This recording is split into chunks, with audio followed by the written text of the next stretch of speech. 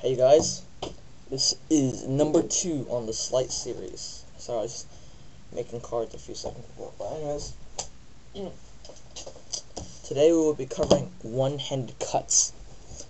Cool stuff. Alright, I'm going to be teaching you with my favorite cards. My one, one of my favorite decks of cards, the green cards. Okay.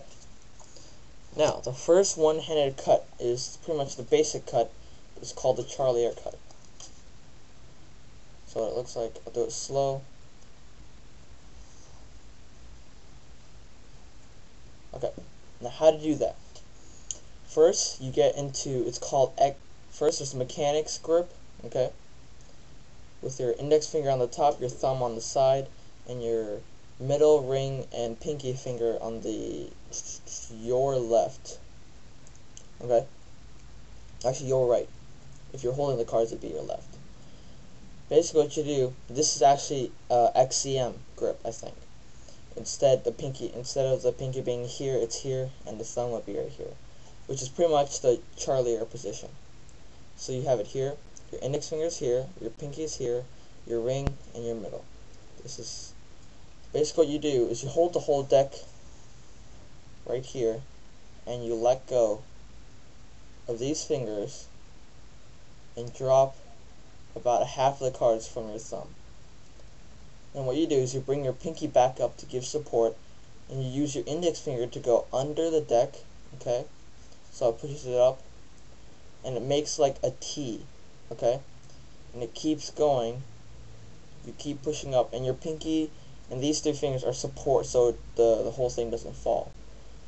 It keeps going until it clears the top half. The top half goes down, and you push down with your, your thumb. Okay, one more time. You're an XCM grip. Drop some cards. Pinky goes to the end. Index finger goes under and pushes up. Remember there's a T right there. And clears it and goes there. Okay, that's pretty basic. That's pretty basic cut. Alright, the next cut is uh, actually going to take more practice. Actually, I've never seen anyone do this, ever, as a flourish. Okay? So, you know, we're just going to call it the ting cut. Alright? It's pretty easy, but you need to work on your finger flexibility. Okay? Here, watch. I have big, big fingers, but I've been working on my fingers for a long time. Look how wide they spread. Here, compared to a uh, deck of bicycle cards. That's how far. That's how far they spread. Okay. And it's not just because I have big hands, okay? It's an exercise. Basically, you take your index fingers and just put them on your wrists like this until they spread out. And just go back and turn your hand back and forth and do both hands. Okay? And do that every day until your fingers are very flexible and can be spread uh, apart very much. Okay? Oh, also, on the Charlier cut, start off with half the deck. Okay?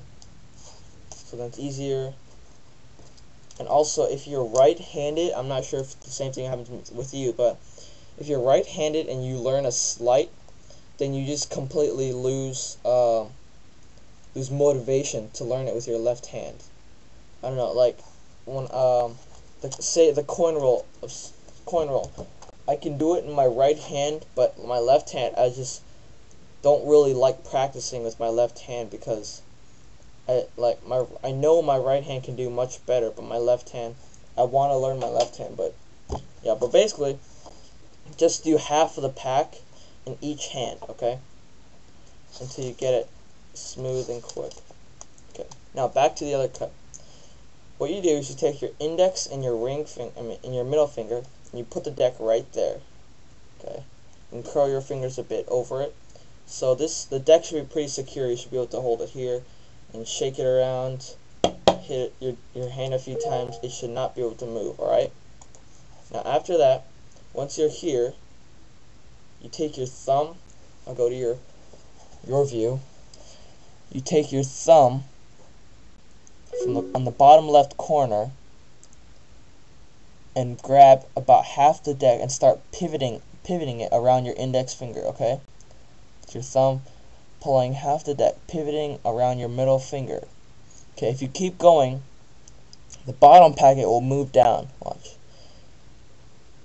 It goes. goes down just by itself, okay? And after it goes down, your index finger will go under the deck and just slide the top pack under the bottom the pack okay so again your two fingers like this. Your your uh, your hand your thumb goes into the bottom left corner. Slides off half. Keeps going around your index finger. And also you can use your ring finger right here for support on the bottom packet so they don't fly everywhere. So it's here and you keep going and you let your index finger go under the pack and move and then you're back in XCM grip and you can do Charlier cuts, show off to your friends and get some chicks or guys. Here we go. So in fast speed it looks like this. It's quite impressive. And also, it's even cooler if you can do it with both hands. Now, it's kind of hard to practice with both hands because the setup, it's kind of hard to get it in both hands like like this. But um, that's basically it.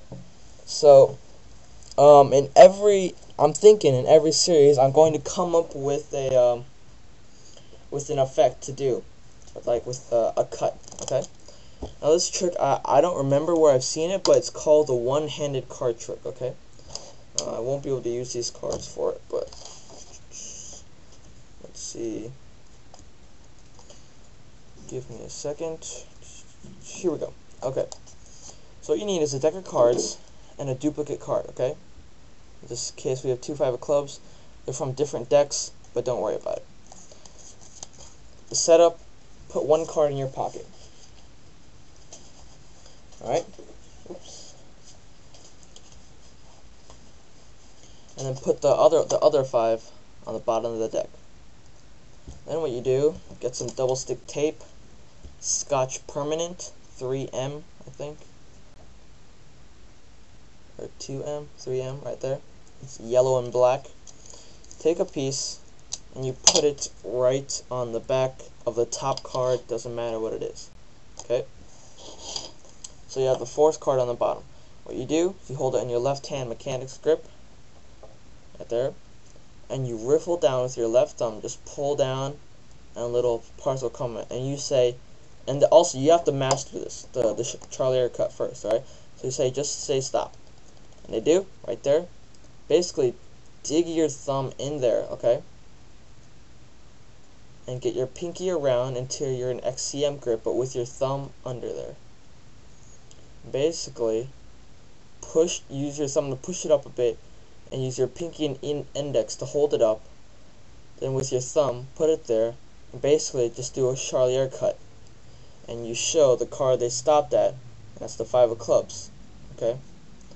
Which is actually the bottom card but in uh, actual speed it looks like this. Say stop right there lift it up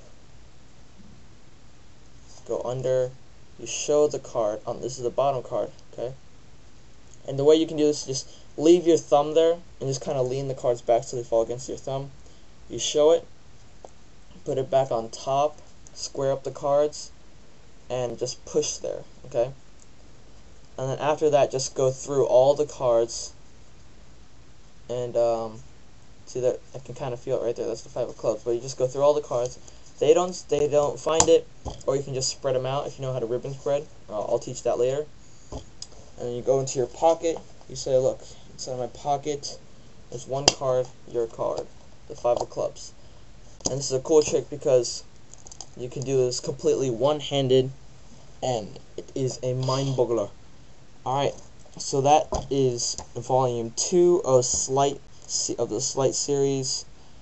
Next, uh, the next series, we are probably going to go over some uh, color changes. About the, uh, the snap change?